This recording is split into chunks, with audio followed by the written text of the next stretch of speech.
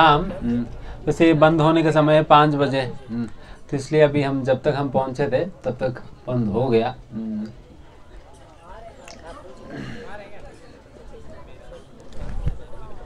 तो वैसा तो मतलब स्थान का ही महत्व है। हम्म। जिस स्थान पर हम बैठे हैं हम्म, तो पूरा टेर कदम ही हम जहाँ पर अभी बैठे भी है ये भी टेर कदम स्थान ही है। हम्म। तो एक ही बात है। हम्म। इसी स्थान पर हम बैठकर हम अभी हम्म, चर्चा कर रहे हैं। तो वैसे जैसे प्रभु जी महाराज जी बता रहे थे हम्म, वैसे तो महाराज काफ़ी विस्तार से बताते हैं जनरली बट कार्तिक के महीने में तो बहुत ज़्यादा ही चलता है तो इसलिए बहुत संक्षिप्त में ही कर देते हैं। वैसे जब गायों को वापस ले जाने के समय जब होता है हम्म, तब उस समय भगवान यहाँ पर कदम के वृक्ष में बैठकर फिर भगवान टेर लगाते हैं। टेर लगाना मतलब बुलाना ज़ोर से पुकारना। एंड भगवान हम जैसे पुकारते नहीं बल्कि अपना बांसुरी बांसुरी को ही बजाते हैं। जैसे भगवान अपने बांसुरी को बजाने लगते हैं उस बांसुरी की आवाज़ से ही हम्म, अपने जितने भी नौ लाख गाय है सारा गायों का अपना अपना नाम है। हम्म, सारे नाम उससे निकलता है। अपने आप निकलता है। एंड सभी को अपना अपना नाम सुनाई पड़ता है। हर गाय को अपना अपना नाम सुनाई पड़ता है। एंड जिस गाय को अपना नाम सुनाई पड़ता है तुरंत उन्हें पता चलता है भगवान हमें बुला रहे हैं। तो तुरंत वो भगवान की ओर दौड़ दौड़ कर आने लगती है। हम्म, तो इस प्रकार से भगवान हम्म, बहुत ही थोड़े ही समय में सारा गायों को एकत्रित कर देते हैं। मैं आप सोचे कि नौ लाख गाय हमारा डेढ़ सौ गाय है।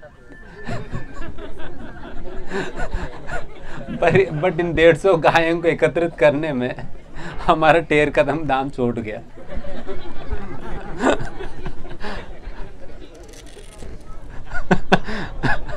गाय, घास चरने के लिए नहीं मिला अंदर वाली।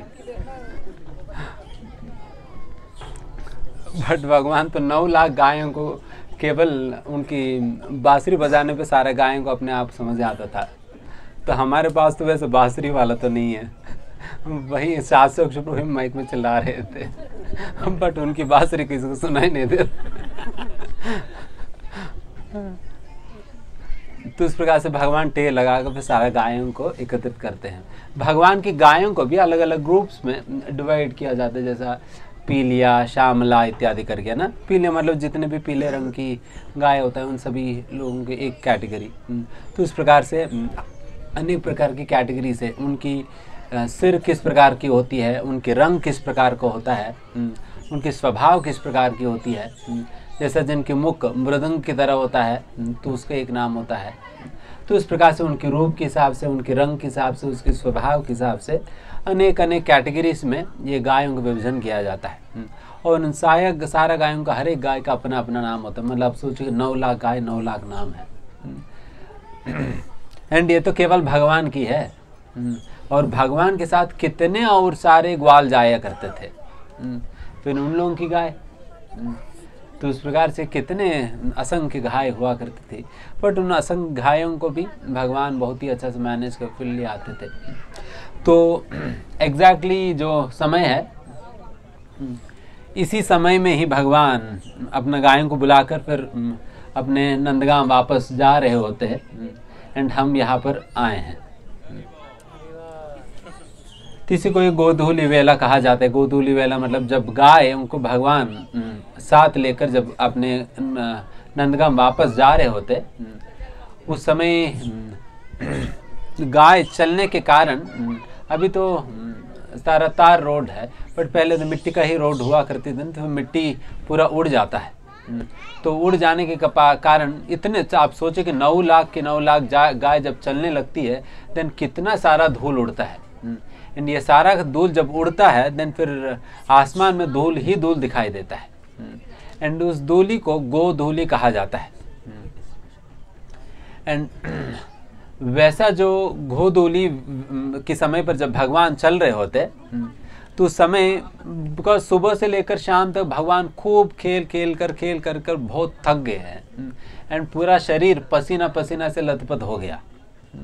एंड वैसा पसीना जब पूरा पसीना हो जाता है ना हाँ, चिपकने लगता है। कुछ भी उसके ऊपर लगेगा देन फिर वो चिपक जाएगी।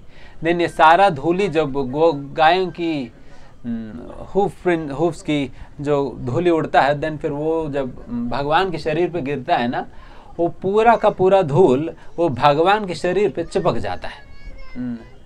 तब भगवान जो श्यामले वर्ण के थे वो गोरे वर्ण के दिखने लग जाते हैं। गोरे वर्ण के दिखने लग जाते हैं। एंड वैसा जो भगवान जो कि श्यामले हैं बट फिर भी गोदोली की गोदो गोदूली उनके शरीर पे चिपक जाने के कारण जो गोरे रंग की दिखाई देता है दिखाई देते हैं वैसा भगवान को ही पांडुरंगा कहा जाता है। पांडुरंगा। पांडु मतलब ये सफ़ेद रंग को ही सूचित किया जाता है। जैसे पांडु महाराज है ना पा, वैसे पांडु एक बीमारी है। हम्म, शरीर पूरा सफ़ेद सफ़ेद हो जाता है। तो हम्म, उस प्रकार की रंग पूरा चिपक जाता है भगवान के शरीर इसलिए पांडु रंग कहते हैं। एंड हम्म, ये सारा जो भी हम लीला बता रहे हैं वो इसी स्थान की है। जिस स्थान पर अभी हम सभी बैठे हैं एंड लगभग इसी समय पर ही ये सारा लीला हो रही है अभी भी। बट हमारी दौर्भाग्य है कि हमें दिखता नहीं है। हमें दिखता नहीं है, बस हमें वो वाल्वो वाला बस जाते हुए दिखाई दे रहे हैं। कई सारे। हमें कोई गाय वाय तो दिखाई नहीं दी। हम्म। तो इस प्रकार की बहुत ही अद्भुत, महत्वपूर्ण स्थान है। इसलिए इसी स्थान को शिल रूप गोस्वामी ने चयन किया है अपनी भजन करने के लिए। एंड वैसा जो इस्कॉन के, इस्कॉन में जो भी भक्त जुड़े हैं, जो कि गौड़ी वैष्णव संप्रदाय का अनु, अनुसरण कर रहे हैं तो उन सभी लोगों के लिए स्थान बहुत ही बहुत ही महत्वपूर्ण है। क्योंकि ये रूप गोस्वामी का भजन स्थली है और हम सारे गौड़ी वैष्णवों को रूपानुगा कहा जाता है। रूप गोस्वामी के पद चिन्हों में चलने वाले इसलिए उन्हें रूपा अनुगा रूप गोस्वामी का अनुगत्य करने वाले, इसलिए रूपा अनुगा एंड वैसा जिस रूप गोस्वामी का अनुगत्य हम करते हैं, या करने का प्रयास करते हैं, वैसा रूप गोस्वामी का भजन करने के स्थान है ये। एंड इसी स्थान पर शिल रूप गोस्वामी ने, हमारा गौड़ी वैष्णव संप्रदाय का एक सबसे महत्वपूर्ण ग्रंथ के रूप में जो जाना जाता है, जो कि गौड़ी वैष्णव सिद्धांत को बिल्कुल परफेक्ट ढंग से जो प्रदर्शित करता है, ये हमारे लिए तो एक लॉ बुक की तरह है। जो शिल्पबाज कहते हैं तो हमारे लिए तो एक कानून है भक्त राम सिंधु, जिसके अनुसार हर एक गौड़ी वैष्णव को चलना ही चाहिए, यही पद है। एंड उस प्रकार के भक्त राम सिंधु ग्रंथ की रचना श्री रूप गोस्वामी ने इसी स्थान पर किए हैं। इसी स्थान पर किए हैं, इसलिए स्थान बहुत ही बहुत ही महत्वपूर्ण है। फिर साथ ही साथ यहाँ पर और भी कुछ और ग्रंथों का भी रूप गोस्वामी ने रचना किया जैसे ललित माधव विदग्ध माधव करके भी हम्म, उन ग्रंथों का भी रचना किया हम्म, जैसे इन ललित माधव के अंतर्गत भगवान श्री राधा कृष्ण की हम्म, आंतरंगिक गोपनीय लीलाओं का वर्णन होता है जिसमें राधा कृष्ण एकत्रित आते हैं। एंड फिर विदग्ध माधव ग्रंथ के अंतर्गत भी राधा कृष्ण का ही लीलाओं का वर्णन है बट वहाँ पर राधा कृष्ण की विरह की लीलाओं का वर्णन है। वहाँ पर विरह की लीलाओं का वर्णन है और यहाँ पर एकत्रित आने की लीलाओं का वर्णन है। वैसा कहा जाता है, जिस पेड़ के नीचे यहाँ पर रूप गोस्वामी, ये ललित माधव की रचना या विदग्ध माधव की रचना करने लगे थे। उस समय जिस प्रकार की वर्णन रूप गोस्वामी उस ग्रंथ के अंतर्गत कर रहे थे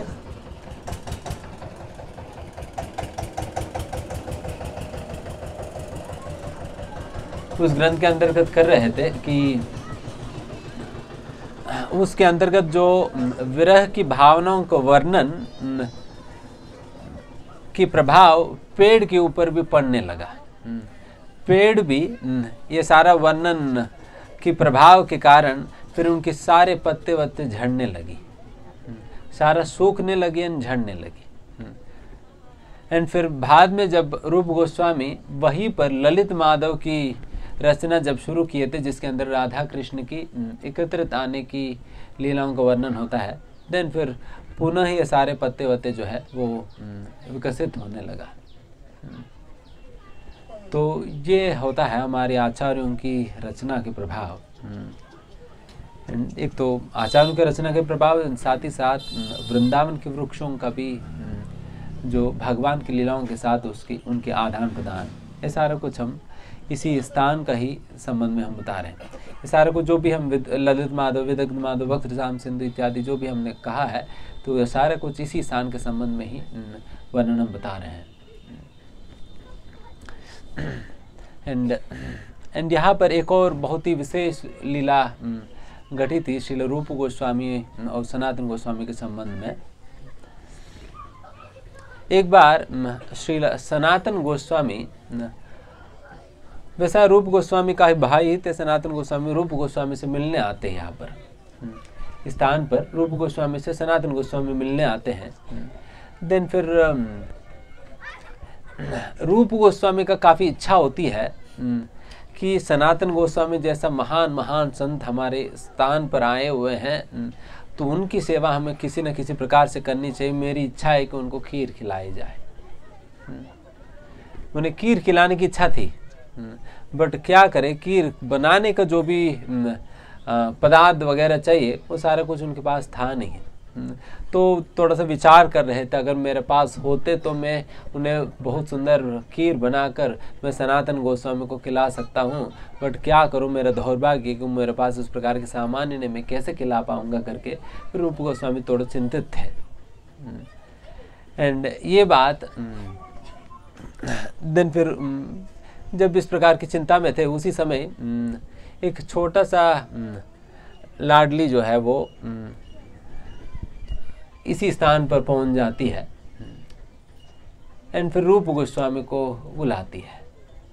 फिर रूप गोस्वामी से कहती है कि देखो हमारी माँ ने कुछ सामान आपको देने के लिए भेजी है। तो ये सामान है, आप ले लीजिएगा करके। देन रूप गोस्वामी के हाथ में रख कर भाग जाती है।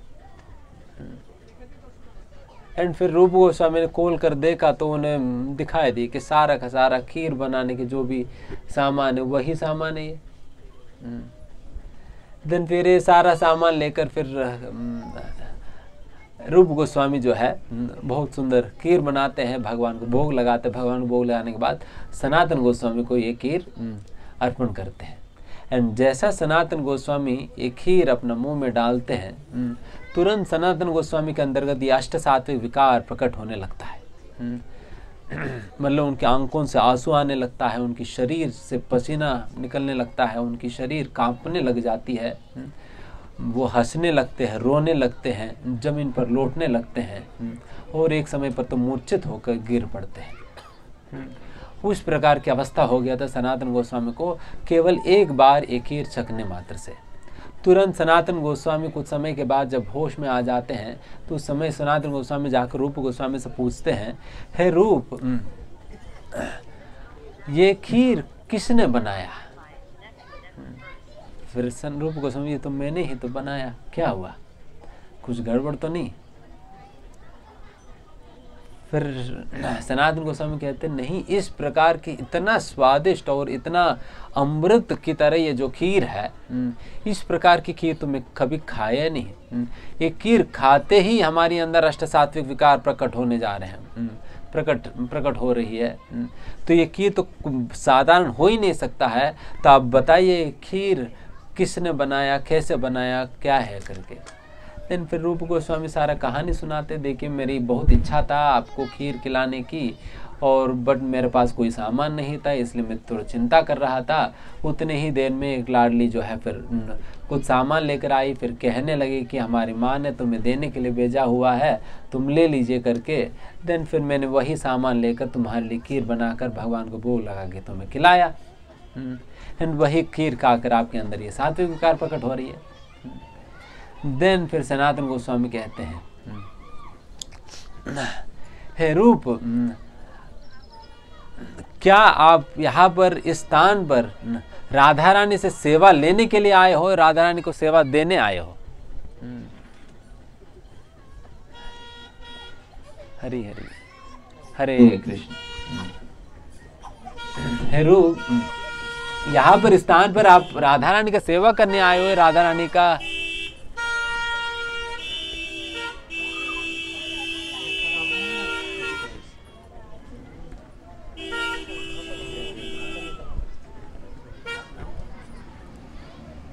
चार लोग गए हैं।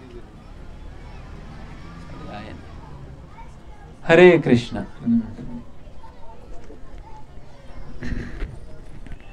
तो वहाँ पर सनातन गोस्वामी से ये बात कहते हैं। सनातन गोस्वामी बात कहते हैं राधा से सेवा लेने आए और राधा का सेवा करने आए हो करके क्योंकि फिर रूप गोस्वामी बहुत आश्चर्यचकित होकर पूछते मैंने क्या ऐसा कर दिया कि राधा से मैं कहा सेवा लिया? तभी हमारे स्पीकर सुनाई दे रहे नहीं आ रहे। स्पीकर में वॉल्यूम बढ़ाने का कोई इंतज़ाम नहीं है।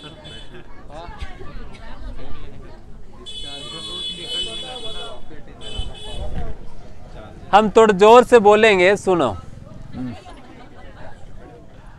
थोड़ा और पास में आ जाइए।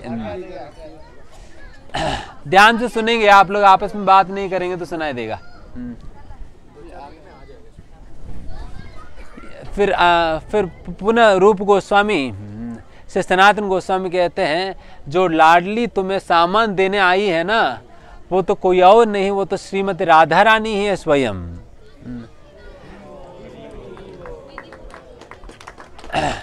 श्रीमती राधा रानी ही स्वयं आई है तुम्हें तुम्हारी इच्छा को पूरा करने के लिए। इसलिए जब शुद्ध भक्त किसी भी प्रकार की इच्छा करने लगते हैं देन फिर भगवान और श्रीमती राधा रानी स्वयं इन इच्छाओं को पूरा करने के लिए खुद आने लग जाते हैं।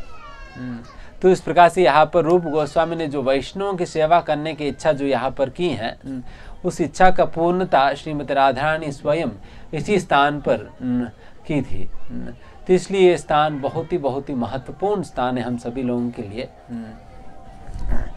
क्योंकि इस स्थान पर रूप गोस्वामी का इच्छा, सनातन गोस्वामी की सेवा करने की वो इच्छा भी इसी स्थान पर पूरा हुई है। एंड फिर साथ ही साथ भगवान श्री कृष्ण की लीलाओं के संबंध में एक और अद्भुत लीला इसी स्थान से संबंधित है। वैसा नंदगांव यहाँ पर है एंड बरसाना उस तरफ़ है लगभग सात किलोमीटर की दूरी है छः सात किलोमीटर की दूरी है। एंड जब भगवान गोकुल में रहा करते थे देन श्रीमती राधा रानी रावल में रहा करती थी। जब गोकुल में भगवान थे, तब श्रीमती राधा रानी रावल में थी। एंड जब भगवान जब भगवान वैसा तीन विभिन्न स्तरों में भगवान रहे थे पहले गोकुल में फिर चट्टिका रहे वृंदावन फिर उसके उपरांत नंदगांव। एंड फिर उसी प्रकार से श्रीमती राधा रानी भी पहले रावल में रही फिर बरसाना फिर जावट। तो इस प्रकार से इन तीन स्थानों में रही। भगवान यहाँ पर वैसे इस व्रज मंडल के अंतर्गत मथुरा जाने के पूर्व यहाँ पर लगभग साढ़े ग्यारह साल रहे थे। हर एक स्थान पर लगभग तीन साल नौ महीने तक रहा करते थे भगवान। एंड फिर एक स्थान पर भगवान जैसा गोकुल के अंतर्गत भगवान की जो वात्सल्य लीलाएँ हैं वो प्रधानतः वहाँ चला करती थी। हम्म। इसलिए भगवान ज़्यादातर गोकुल में जब रहा करते थे तब भगवान ज़्यादातर यशोदा और नंद बाबा के साथ ही रहा करते थे। जब भगवान गोकुल से वृंदावन आए हम्म, तब माइक बंद हो गया।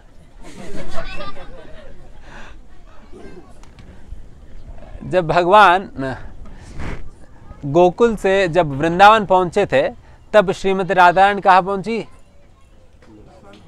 बरसाना पहुँच गई। हम्म। बरसाना पहुँच गई।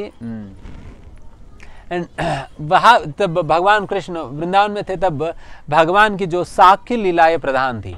इसलिए भगवान ज़्यादा समय बिकॉज़ हम्म, उस समय फिर भगवान की उसी समय उसी दौरान ही भगवान की गोपाष्टमी के दिन उनका प्रमोशन होता है गाय गाय वगैरह चराने लगते हैं।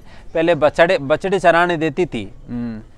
अभी गाय वाय चराने लगे थे भगवान। एंड फिर गाय चराने के नाम से भगवान जाकर फिर अपने ग्वाल सखाओं के साथ अनेक अनेक प्रकार के लीलाएँ किया करते थे। एंड फिर उसके उपरांत जब भगवान नंदगांव पहुँच जाते हैं, तब नंदगांव में भगवान की कैशोर लीला शुरू हो जाती है। और कैशोर लीलाओं में भगवान गोपियों के साथ ज़्यादा समय बिताए करते थे। गोपियों की लीलाएँ प्रदान थी। वैसा ग्वाल सकाओं के साथ भी भगवान खेला करते थे बट यही मौका ढूंढते थे कब मैं छोड़कर भागूं।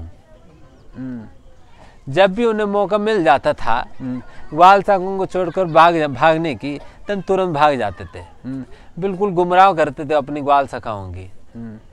कभी वो सोने की नाटक करते थे बाकी लोग भी सो जाते थे जैसे वो सो गए ये उठ गया। ये उठ कर भाग गए। तो हर समय यही नाटक ही चलता घर पे भी यही नाटक। यशोदा में रोज आती थी उन्हें सुलाने। उनकी बाकी ग्वाल सकाए जब सुलाने का प्रयास करते थे तो भगवान सोते नहीं थे। दिन यशोदा में दूध लेकर आती थी भगवान को सुलाने। दिन फिर दूध पिलाते पिलाते राम रामायण वगैरह सुनाती थी। ये यशोदा मैया। रामायण सुनाते सुनाते भगवान को सुलाने लगती थी। एंड भगवान भी सो जाते थे। बट भगवान झूठा सोना करते थे। मतलब सोते नहीं थे बट सोने की नाटक करते थे। ताकि फिर यशोदमय जैसा फिर उन्हें यशोदमय को जैसा लगता है कि ये सो गया तुरंत फिर चले जाएगी। हम्म। तो इसलिए फिर सोने का नाटक करते थे। एंड फिर नाटक जब करते थे हम्म, नाटक तो जब कोई व्यक्ति नाटक करता है सोने की उन्हें जगाए नहीं जा सकता है। उन्हें जगाए नहीं जा सकता है ना। जो असलियत में सोया है उन्हें तो जगाया जा सकता है। बट नाटक जो कर रहे उन्हें तो जगाया नहीं जा सकता है। इसलिए ऐसा ज़बरदस्त नींद में चले जाते थे यशोदा में तो लगता था कि तो असलियत में सो ही गया। जब ऐसा लगता था दिन यशोदा में चले जाती थी। And hmm. फिर जैसा यशोदा यशोदा में चले जाती थी हम्म, उस समय पंखा हुआ करते थे पंखा। जैसा बरसाना में है ना हम्म, जो गर्भगृह के अंतर्गत पंखा होता है, उस पंखा ऐसा होता है कि वो बाहर से खींचना होता है हम्म। जैसा बाहर से खींचेंगे, वो अंदर की पंखा घूमने लगता है हम्म। अंदर की पंखा घूमने लगता है, फिर व्यक्ति जो भी नीचे है, उनका हवा मिलने लगता है हम्म। तो उसी प्रकार की पंखा था भगवान के पास देन फिर यशोद में जो भी कमरे में थे जो भी और कोई सेवा नौकर भी कमरे में होता होता थे देन फिर उनको भी बाहर भेज देते कि तुम जाकर बाहर जाकर वो पंखा झुलाओ एंड वो भी बाहर गया तो बाहर पंखा झुलाने वो गए तो पंखा झुला रहे हैं फिर यहाँ से कृष्ण जो है खिड़की से निकल गए हम्म। खिड़की से निकल जाते थे हम्म। मध्य रात्रि के समय हम्म। फिर वंशी वट पर फिर जाकर फिर वहाँ पर अपना महाराज संपन्न किया करते थे तो इस प्रकार से भगवान वहाँ पर भी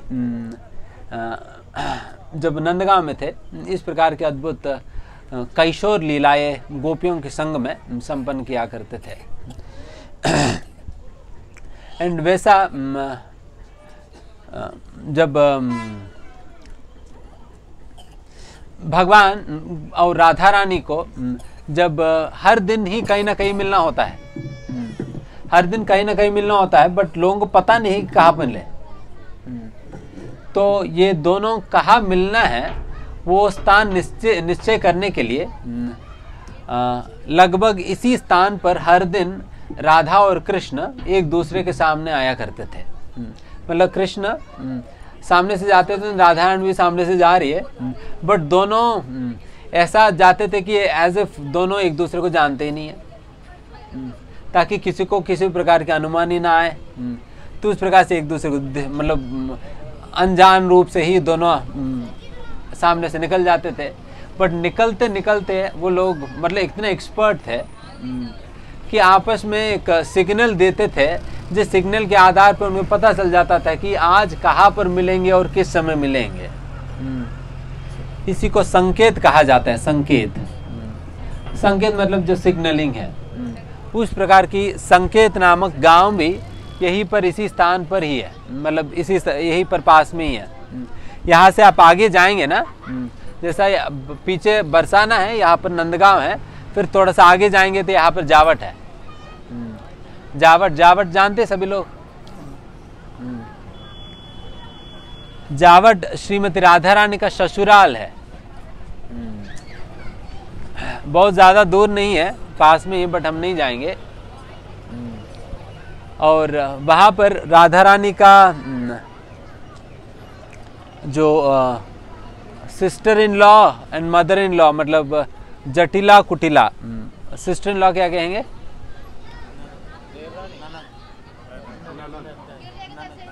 नन्नत सास और हम्म, सास और ननद के साथ और जो श्रीमती राधा रानी का जो पति है हम्म, व्यवहारिक तौर पर जो पति है अभिमन्यु। जो कि अभिमन्यु भी भगवान श्री कृष्ण का जो छाया है छाया मतलब जैसा हमारा छाया होता है ना शेडो उसी प्रकार से भगवान की श्री कृष्ण का जो छाया है छाया का ही अवतार है अभिमन्यु। जिसने जिनके साथ श्रीमती राधारानी की शादी होती है। एंड ये अभिमन्यु के साथ जटिला कुटिला के साथ वहाँ पर बहुत सुंदर मंदिर है। मतलब छोटा सा बहुत छोटा सा मंदिर है। वहाँ पर दर्शन करने के लिए जावट में ये स्थान भी है। और वैसा भी यात्रा का भी लास्ट अंतिम समय ही है।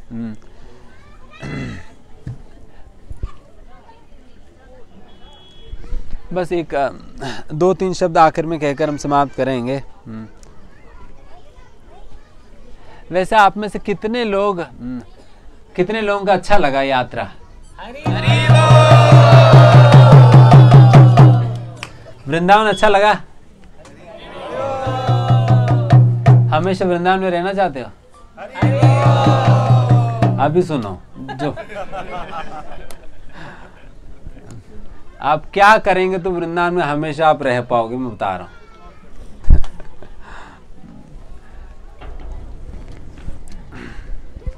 जैसे श्रीमती वृंदा वृंदायाय अरण्यम वृंदारण्यम कहा जाता है वृंदावनम वृंदाया वनम वृंदावनम तो जिस वन में वृंदा देवी वास करती है या वृंदा देवी का जो वन है उसे वृंदावन कहा जाता है. और वैसा वृंदावन में रहने की सौभाग्य फिर कौन देगा? जिनका स्थान है वृंदा देवी देगी.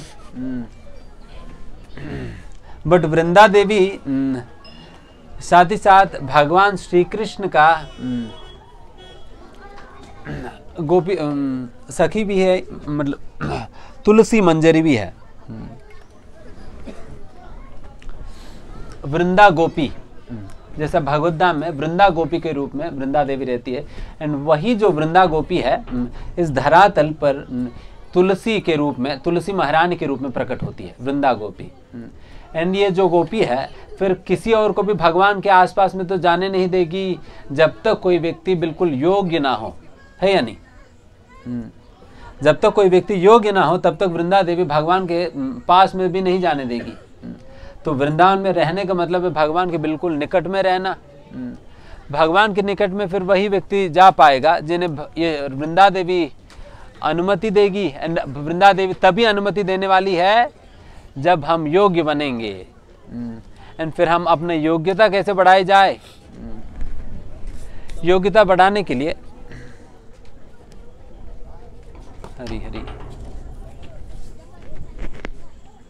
हरी हरी। ऑन है?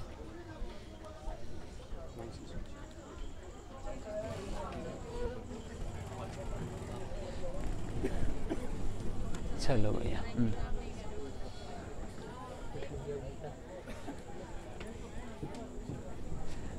वृंदा देवी हम्म, ही अनुमति देती है। एंड वैसा वृंदा देवी अनुमति देने के लिए हमें अपने आप को योग्य बनाना होगा। एंड योग्य बनाने के लिए हम्म। बनाने के टाइम पे आ गया माइक योग्य अभी बताएँगे।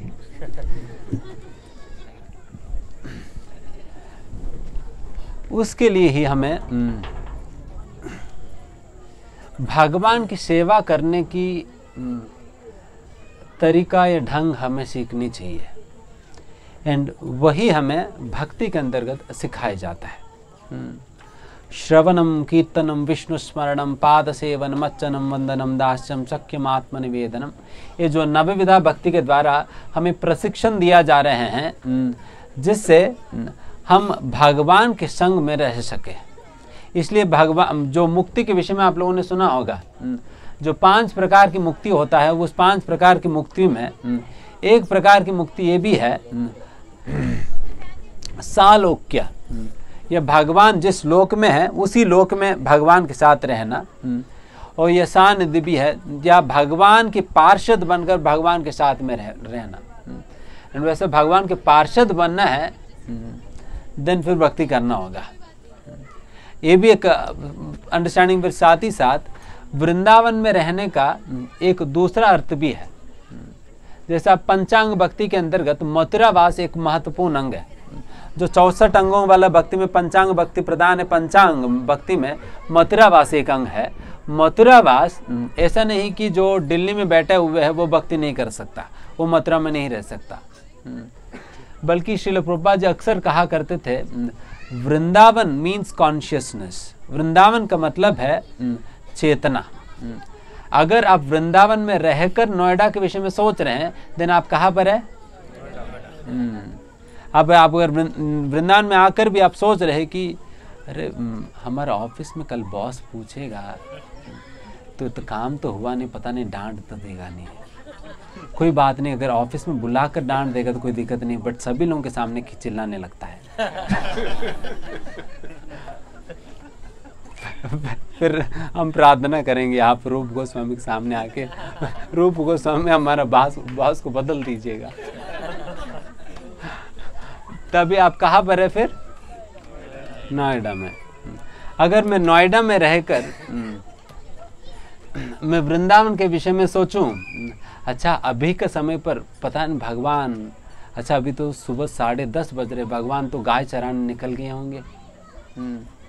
और भगवान अपने ग्वाल सकाओं के साथ जा रहे होंगे, पता नहीं आज कौन सा वस्त्र भगवान ने पहना है एंड हम्म। किस प्रकार से भगवान भी बांसुरी बजा रहे हैं ग्वाल बाल आपस में कौन सी कथा का चर्चा कर रहे होंगे एंड हम्म। भगवान को आज खिलाने के लिए सारे ग्वाल बाल कौन सा कौन सा पकवान लाए होंगे भगवान जो है नंगे पैर चल रहे हैं। फिर नंगे पैर चलने के कारण पता नहीं कौन सा पत्थर भगवान को चुभ रहा है कौन सा कांटे चुभ रहा है। हम्म, तो इस प्रकार से आप भगवान के विषय में सोच रहे वहाँ पर बैठ कर भी।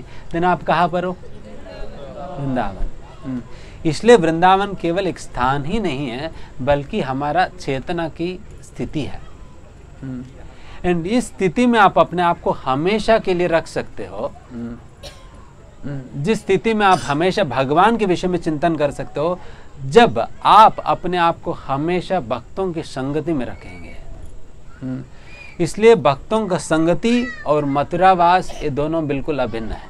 हम्म, अगर आप भक्तों का संगति में हैं तो इसका मतलब आप मथुरा में ही हैं। हम्म, क्योंकि भक्त जब मिलते हैं वो तो भगवान का ही तो चर्चा करते हैं ना। भगवान के विषय में सोचने में हमें सहायता देते हैं।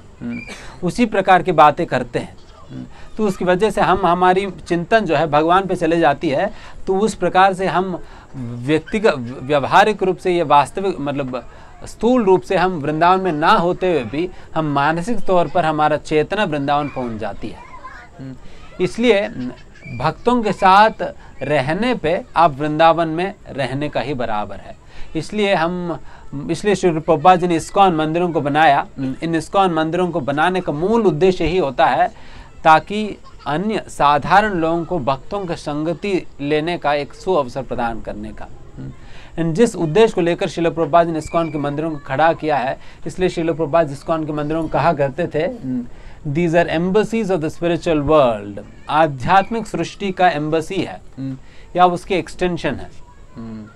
उसी का विस्तार है। मतलब वृंदावन का ही विस्तार है इस्कॉन मंदिर। हम्म, क्योंकि जो जो काम वृंदावन में होता है वही काम वहाँ पर भी होता है। यहाँ पर क्या होता है? कीर्तन होता है वहाँ पर भी कीर्तन होता है। यहाँ पर राधा कृष्ण की सेवा होता है वहाँ पर भी राधा कृष्ण की सेवा होता है। यहाँ पर भक्त होते हैं वहाँ पर भी भक्त होते हैं। यहाँ पर प्रसाद मिलता है वहाँ पर भी प्रसाद मिलता है।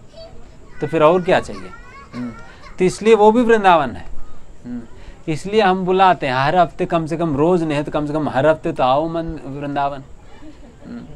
एंड उसमें तो हम सात सौ रुपये मांगते भी नहीं है। हम्म। सात सौ रुपये मांगते हुए फ्री में बुलाते हो, प्रसाद भी खिला रहे उल्टा। हम्म। खता भी सुना रहे, उल्टा खिला भी रहे हैं। तो फिर फिर भी नहीं आते लोग, पता नहीं क्या। तो इसलिए हम आपसे सभी लोगों से कह रहे हैं, आप सभी लोग आइए मंदिर। हम्म। उस प्रकार से भक्तों का संगति लीजिए, कथा सुनिए, प्रसाद लीजिए, कीर्तन करिए, नाचिए, गाइए, समय दीजिए, समय बिताइए मंदिर में। हमारे लिए ही बनाई गई है नहीं तो इतना बड़ा बड़ा बिल्डिंग बनाने की ज़रूरत ही क्या है? हम्म। हमारे लिए तो बनाई गई है। तो आप आइए, फिर उसका फ़ायदा लीजिए। हम्म। आप अपना बाकी छः दिन तो आप अपने बॉस की सेवा करते हो। हम्म। तो एक दिन तो अपने ठाकुर जी का सेवा भी करो।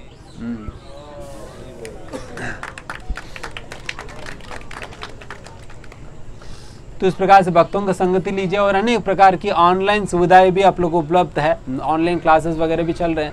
तो उन क्लासेस में भी आप आइए उसके अंतर्गत भी जुड़िए। इतने सारे फैसिलिटी आपको दिया जा रहे हैं जुड़ने का। इतने सारा फ़ायदा उठाते हुए आप लोग अच्छे से जुड़िएगा। एंड यही पर हम अपने वज़न समाप्त करेंगे। अभी हम दामोदर अष्टकम गाएँगे। और दामोदर आश्रम गाएँगे। और फिर उसके साथ हम यहाँ पर यात्रा समाप्त करेंगे। एंड आप सभी वृंदावन चले जाएँगे और हम यहाँ रह जाएँगे। ठीक है?